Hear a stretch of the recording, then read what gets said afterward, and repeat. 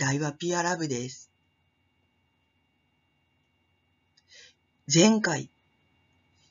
手塚治虫さんが、現在のことを予言していたかのような漫画を描いていたということをお伝えしました。その続きになるんですが、手塚治虫さんは、その漫画の中で、イルミナティを思わせる組織が人口削減を行おうとしているところや、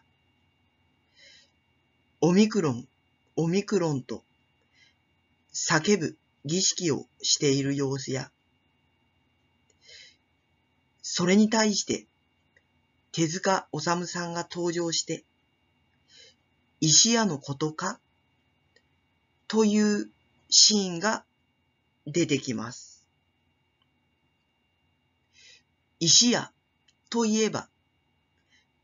イルミナティ、フリーメイソンを指しています。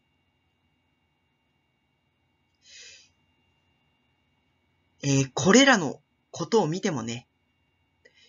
手塚治虫さんが、えー、現在のことをね、予言していたっていうことは間違いないと思いますね。うん。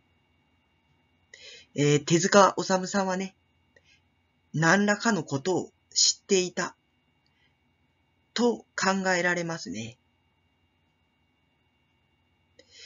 えー、そちらのね、シーンについては、えー、概要欄の方にね、記事のリンクを貼っておきますので、そちらの方をぜひご覧ください。